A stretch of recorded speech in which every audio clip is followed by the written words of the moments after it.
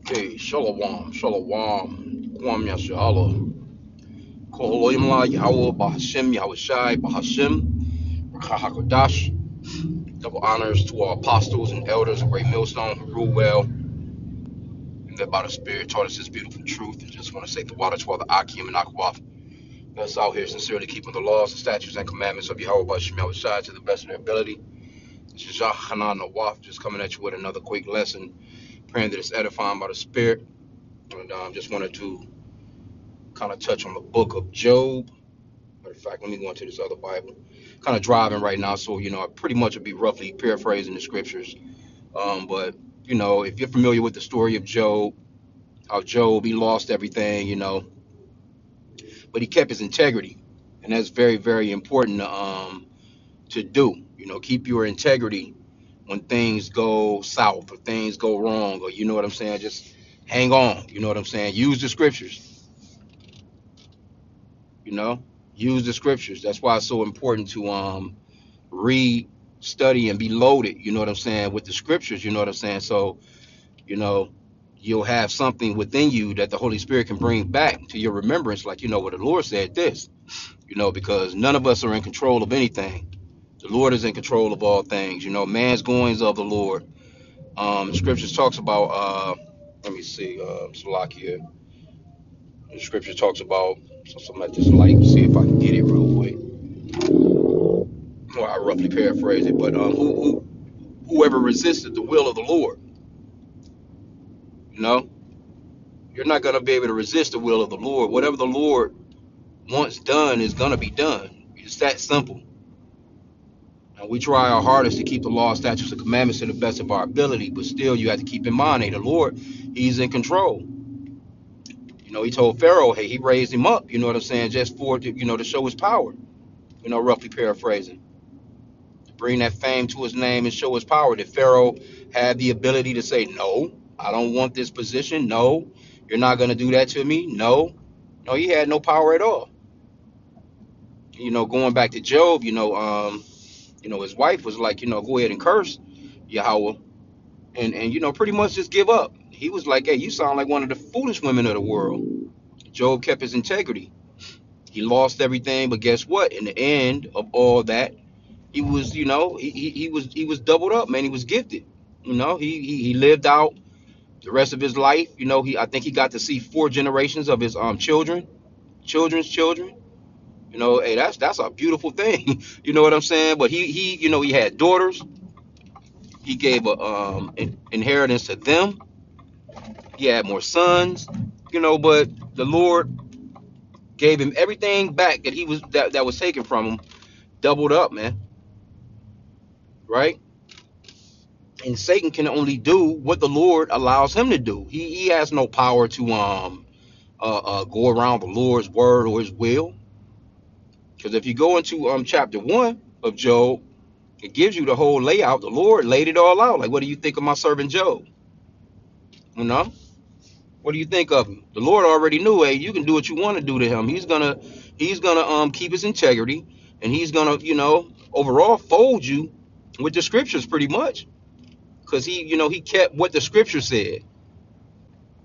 He was re- he was reminding himself of the scriptures. He was re- you know, he was quoting scripture, man, you know, roughly so to speak. You know, he was reminded of the Lord's goodness, the Lord's long suffering, the Lord's mercy and that's what you had to keep in mind you know what i'm saying as you're going through things you know you might go through something and and, and it might let you down or whatever you know but you know you you- you'll you'll get that spirit of anxiety you know trying to attack you and you don't want that you know you got to use the scriptures like nah nah nah. You know what i'm saying? The lord didn't give me a spirit of fear but he gave me a spirit of power love and a sound mind. Use the scriptures man. You know? Use the scriptures. Are we going to be let down? Yeah you're going to be let down. You're in this this human body. Are you gonna go through things? Of course you're gonna go through things. But the scripture goes off into um, you know, your faith being built up. I've been hearing a lot of um uh uh uh, uh brothers talking about faith this week. Faith, having faith. What are you having faith in? You're having faith in the scriptures.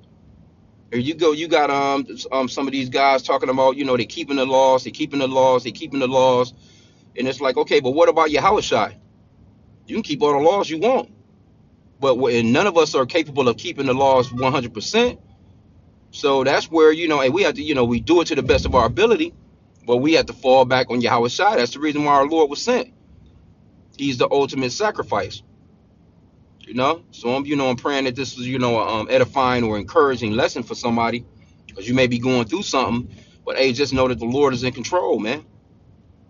Satan can't do nothing to you, uh, you know, other than what the Lord allow him to, to, to run up and do, and and you know, it's gonna be um somewhat of a tester. Sometimes you get um you get chastened, but if you're getting chastened, guess what? The Lord loves you because if He's not chastening you, then He doesn't. Roughly paraphrasing it, man. Some things you, you go through to build you up. You're supposed to be growing in this truth.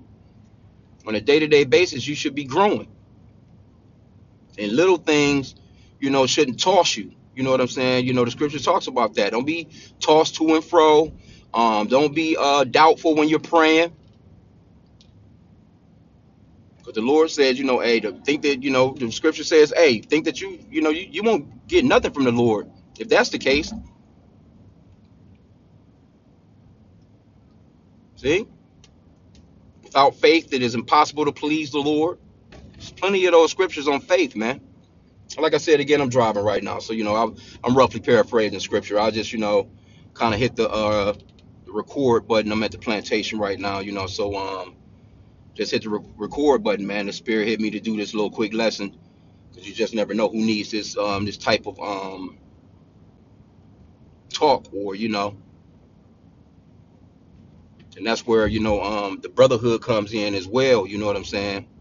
you know, uh, you know, brothers being able to kick it with you and let you know certain things, you know, in case you go off, you, you get back, they get you back on track, so to speak.